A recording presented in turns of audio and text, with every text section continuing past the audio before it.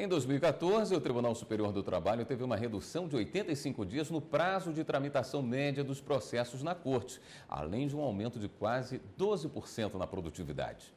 Mais de 256 mil processos foram julgados pelo tribunal, que também realizou audiências de conciliação e campanhas para a prevenção de acidentes de trabalho. Acompanhe agora as principais ações do Tribunal Superior do Trabalho no ano passado. Casos envolvendo dano moral coletivo, assédio, abuso de poder e condições degradantes de trabalho foram julgados pelos ministros do TST em 2014. Na sétima turma, um processo chamou a atenção. Uma empresa de telemarketing fazia uma espécie de política de gestação com as trabalhadoras. A companhia elaborou planilhas indicando quando as empregadas poderiam engravidar, conforme fila de preferência, com estado civil e número de filhos. Para os ministros, houve ofensa da dignidade e intimidade dessas mulheres.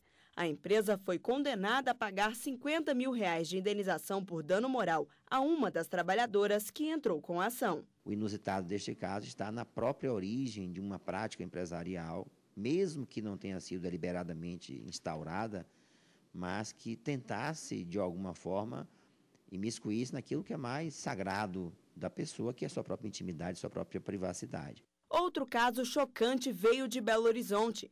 Uma distribuidora de medicamentos obrigou os empregados a caminharem em carvão em brasas durante um treinamento motivacional. Um ex-empregado entrou com pedido de indenização e os ministros da primeira turma condenaram a empresa a pagar 50 mil reais por entenderem que houve desprezo do empregador pela dignidade humana. Há um campo aí um pouco cinzento das relações de trabalho em que o empregador ele extrapola do seu poder diretivo, do seu poder de organização, do seu poder disciplinar e extrapolando esse seu direito subjetivo, ele ofende a outra parte, que é o empregado, que não pode ter a sua dignidade violada por uma conduta ilícita da empresa que causou dano moral a esse trabalhador. A Seara Alimentos de Forquilinha, Santa Catarina, também foi condenada por dano moral coletivo. Ela vai ter que pagar 10 milhões de reais porque obrigava os empregados a cumprirem jornadas excessivas de trabalho e não fornecia uniformes adequados para o frio. Submeter o trabalhador a essas condições adversas, sem pausas alimentares, é, num clima extremamente baixo, é, isso com certeza causa dano. Então, às vezes, um valor de 10 milhões diante de um capital social de 4 bilhões é um valor módico proporcionalmente. Ao todo, mais de 256.600 processos foram julgados pelo TST até novembro de 2014, 12% a mais que no mesmo período de 2013.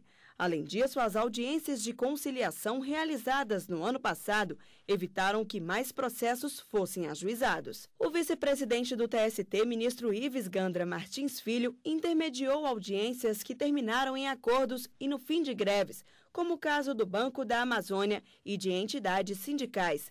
Depois de horas de negociação, o banco aceitou manter o adiantamento de 800 reais relativos à participação de lucros e rendimentos.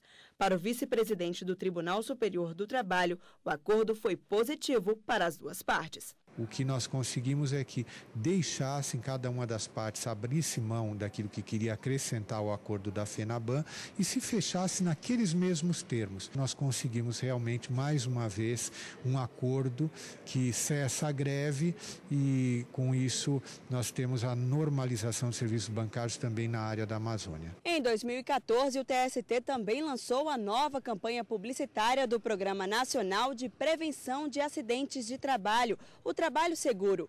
De acordo com o Ministério da Previdência Social, cerca de 700 mil casos envolvendo acidentes no serviço são registrados em média todos os anos no Brasil. Por isso, o TST e o Conselho Superior da Justiça do Trabalho estabeleceram ações voltadas para a prevenção desses acidentes. Ao todo, cinco peças foram divulgadas pelas emissoras de televisão e rádio. Em áudio e vídeo, elas alertaram a população sobre a importância das ações de prevenção no ambiente de trabalho e que acidentes não acontecem por acaso, e sim por descaso. Então, combinado lá em casa amanhã depois do trabalho? Cara, amanhã não vai dar. Amanhã é meu dia de sofrer um acidente. Vai já? É, a pedra do esmeril vai soltar e esmagar meu olho esquerdo. Ficar te devendo. Esta é uma pistola de pregos, um exemplo de produtividade. Para o profissional bem treinado, é uma ferramenta de trabalho rápida, precisa e potente. Porém, em mãos inexperientes, ela é um acidente esperando para acontecer.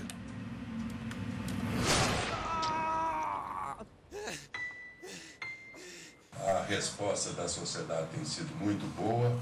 Tenho recebido várias comunicações sobre a necessidade premente de empregados e empregadores, sobretudo, se envolverem na queda dos números alarmantes de acidente de trabalho. Durante todo o ano passado, o TST também firmou acordos e convênios com o objetivo de facilitar os trabalhos e modernizar ainda mais o processo judicial eletrônico da Justiça do Trabalho, que em três anos já conta com mais de 2 milhões e 500 mil ações eletrônicas, o que torna a tramitação dos processos mais eficiente, ágil e econômica. Em 2014, o TST deu ainda mais agilidade à execução trabalhista.